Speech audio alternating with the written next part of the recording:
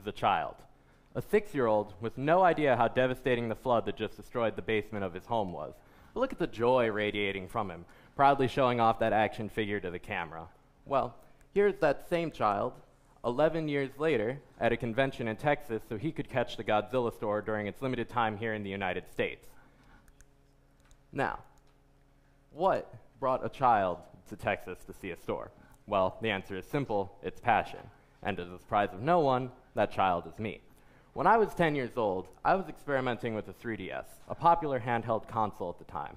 I was messing with its camera app, fiddling with the settings, and I found one for something called stop motion. I remember hearing about this, taking one photo after another, and then ultimately stringing them together into a cohesive video. What you're about to see is what that first stop motion project looked like. Nothing fancy, no fancy background, effects, lighting, nothing. Toys on the floor of a 10 year old's room. Nothing great.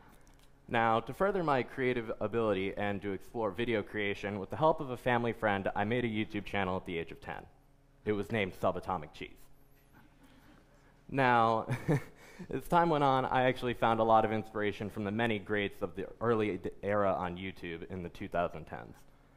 As many 10 year olds do, I tried my hand at plenty of video types gaming, edits, theories on big movies and games at the time. But above all else, stop motion was what held my attention as a creator.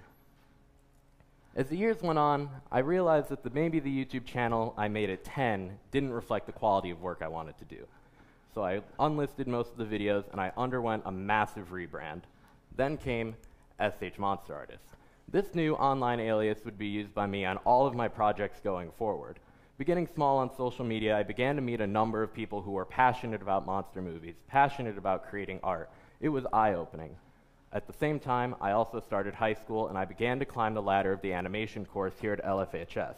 Now, in my second semester as a senior, I'm in Animation 8 Honors, the highest level of the course, and I'm the second ever student to ever do that. Now, the point being that meeting so many passionate artists, students, friends, teachers, everyone, giving critiques on our work, telling what we could make better, time after time. It just pursued me to make this hobby even more of something that I could make my own.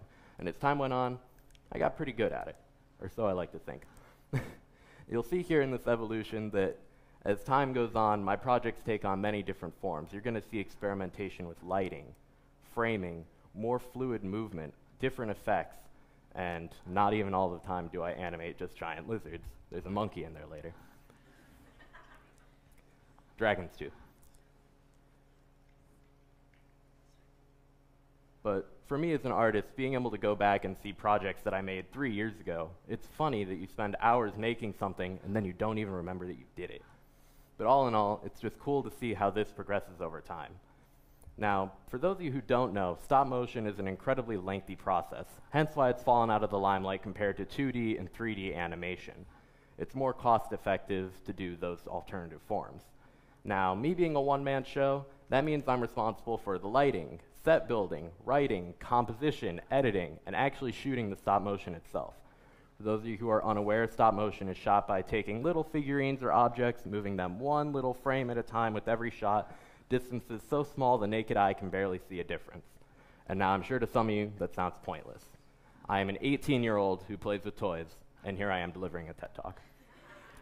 Well, all of this ties back to that idea of passion, which I mentioned earlier. So many people just go through the motions. They wake up, they go to work, they go to school, they come home, they go to bed, they do it all again the next day, and the next day, and so on. But there's a very simple way to break this cycle. Do something you love. It can be cooking, writing, sports, an instrument, anything. As long as you have something in this life that you can take and make your own, there is something so invigorating and liberating about being able to just take something and have it be yours and yours exclusively. For me, I'm incredibly grateful for all the opportunities my stop motion career has opened up. I'm grateful for the family, friends, teachers, staff, random strangers online who have supported me over the years. It's because of that kindness that I've been able to learn new techniques. I've met a lot of awesome people. I've traveled to the Godzilla store. I've gotten brand recognition from the companies whose products I use. And I've even gotten to meet and talk with the people who made and even starred in the very monster movies that inspired this whole thing.